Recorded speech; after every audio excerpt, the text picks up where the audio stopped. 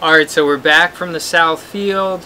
We've got everything in front of us here to make our tinctures. I've got the medicine man to my right here. And uh, he's going to walk us through how to make some self-heal tinctures with all the self-heal we just got. Remember, um, we were harvesting the self-heal because it cleanses the lymphatic system and it uh, also lowers blood pressure.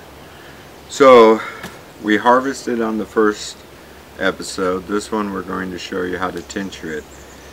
To start with, we need some simple simple um, machines. This is a Ninja blender where it shreds it all up. If you don't have it, you know, you can always use scissors and cut it up. The reason we like to cut it up is you get more surface area and the solvent can be extracted the solvent will extract more material that way. This is what we use for solvent. It is a vegetable glycerin, food grade, no GMO. This is our other ingredient, water. Um, the water should not be ever city water or any treated type or processed water. Uh, you want to get it from maybe distilled water if you're in the city out here you know a fresh stream or uh, in our case we have a spring that we gather the water at. The next is just a measuring device.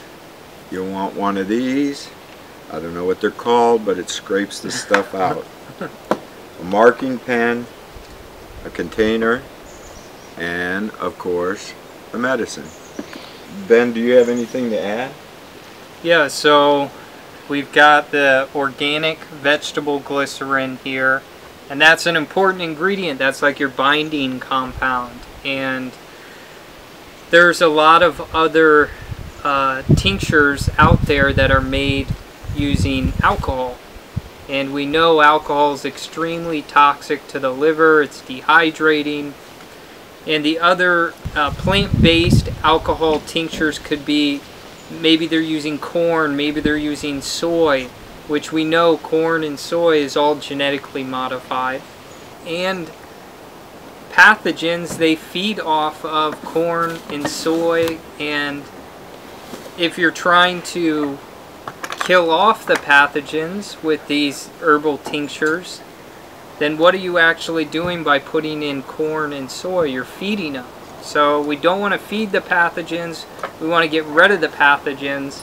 Definitely want to get an organic vegetable glycerin based uh, tincture mix going. You don't want to use any alcohol. Uh, extremely toxic to you. Good point, Ben. I, I, I've been using this for a while, and the emphasis is man, does that take, taste good, where the alcohol was a burning sensation. So it makes taking the tincture much more enjoyable and you'll actually taste the actual plant itself. Some people use alcohol because they're treating dried old uh, product. You know, what we have here is fresh product. So this is going to make the very best tincture there is. So the next process is cleaning the material. Uh, these guys had did pretty good job of not picking a lot of weeds and stuff, so we may go straightly to the uh, chopping portion of this. So I just chop it up, give the blender some help.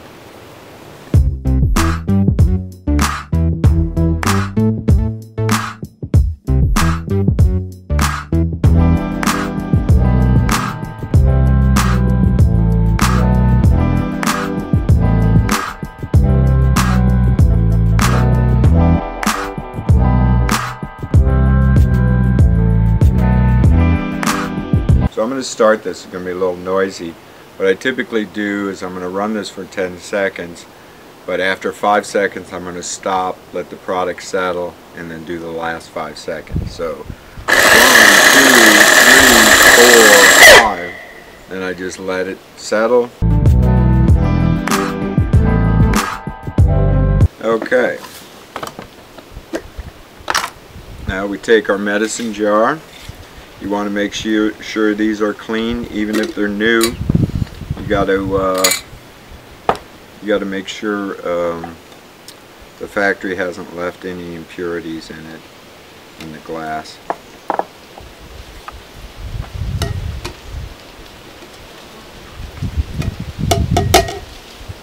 Okay.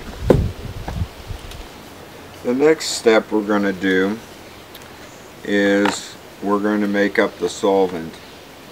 So what I've found is that using 40% water and 60% glycerin works on everything. Rather than weighing, I just shove a bunch in this uh, mason jar and that works just as good. So you just fill it to the rim? Uh, correct. Put in as much as you can. Does anything happen to... Uh... Well, it'll shrink. And at some point, when it shrinks, uh, people say, oh, add more solvent. But I try to make the maximum strength medicine, so I don't typically add more solvent. Now, we're going to add the solvent next. Let me show you what what one looks like that's already been uh, aging.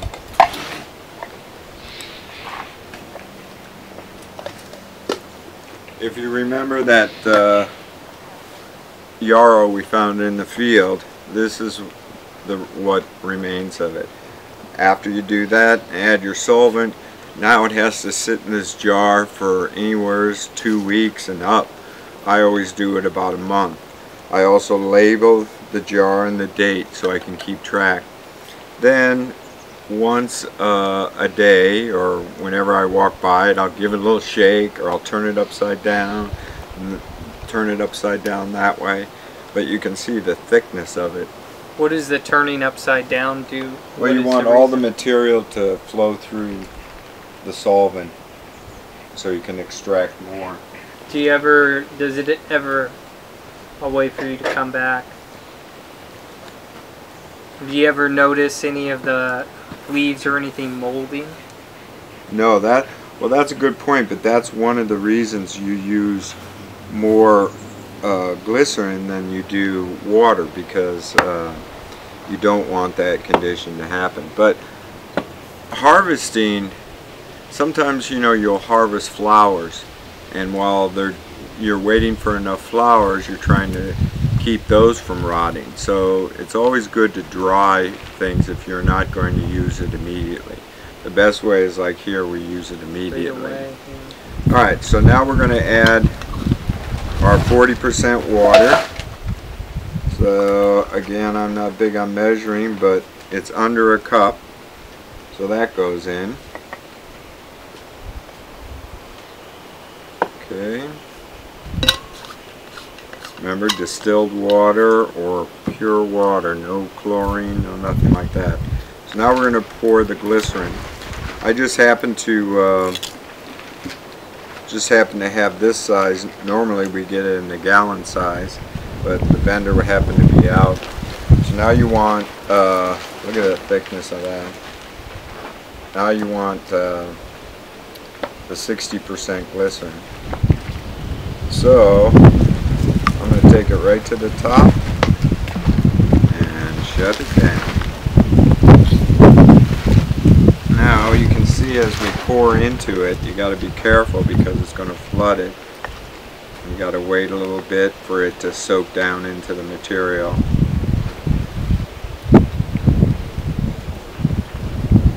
Vegetable glycerin too, don't be afraid by the name glycerin. Here, taste a little bit.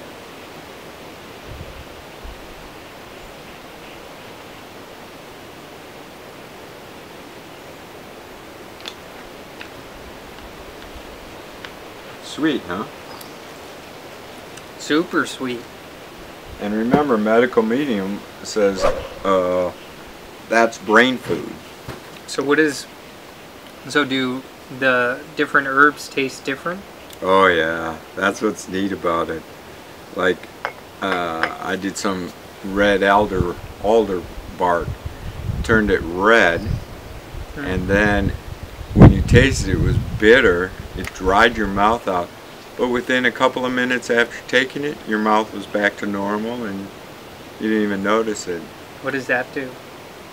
Well, uh, that again is for uh, I think it's like inflame inflammation. Some people say uh, it cures headaches. Uh, Interesting. yeah, but it's a it grows here all over, so it's an easy one too. So they all have different different tastes and then different colors. It sounds like because the Yeah. it made it red, huh? They're all sweet. I mean, if you've had uh, alcohol tinctures, this stuff is like sweet. In fact, you got to be careful. You know, like I had some yarrow on my hand the other day, and the dog came up and licked it off because it's so sweet. But yarrow you can eat, right? Yeah. So it's no. Yarrow actually enhances uh, vision and auditory to the brain. Interesting. All right, so we're pretty much empty, and that's where this thing comes in. You don't want to waste anything. What do you call that thing? I got no idea. The, The the women use it, yeah, and that's where I got it from. Okay. And make sure you clean everything right away. You don't want any contamination. Okay, and what are we going to call this? Uh, Self-heal? Do you put? Do you label where you picked it, where you harvested? Yeah, if your memory's going bad and you can't remember the two hours we, you spend in the field picking this stuff, yeah, then you can mount it. When I make my tincture labels, I always put on there where it was harvested. And remember, guys, you can't harvest this stuff where there's car pollution or you got to find someplace where it's growing in nature. Yeah, and you remember Anthony, he talks about those wild blueberries and how powerful those wild blueberries are. So anything you harvest wild has to survive on its own. It doesn't have someone to water it and give it nutrients and fertilize it and help it grow. This stuff has to survive on their own. So uh, why the fact that we're harvesting these herbs wild, they're more powerful for us and they're going to do a lot more healing. So remember, this is what we just filled. By tomorrow, the next day, it'll be down to here. Hmm. So it's just the the marriage of the solvent and the plant. And so, how many, when you, after this is all done, I imagine you put them in some container or something like that. Right, the bottling. You can buy those little tiny bottles with the dropper fulls, or you can you can uh, filter out and only collect the lu- liquids. We usually do it with a nut bag and a and a uh, press, and then get all the liquid, and then we filter it one more time just to make sure, and then. But if you if you don't want to invest in the bottles, they're like with stopper and bottle, it's probably 50 cents. Then you can just keep it in your mason jar, uh, filter it, and get the the uh, product out, and all you'll have is the juice. And how, what's like the max amount of time you can leave this material in with the vegetable glycerin? Well, they say two weeks is the normal time. I always run it a month. I've even had some that's been in the jar six months. Oh, okay. So, you know, I, I depends on the herb and everything, but uh, so the, the, it doesn't go bad. uh, I, I would suggest, you know, when you get done with this, you'll have two, about two cups of material, of liquid.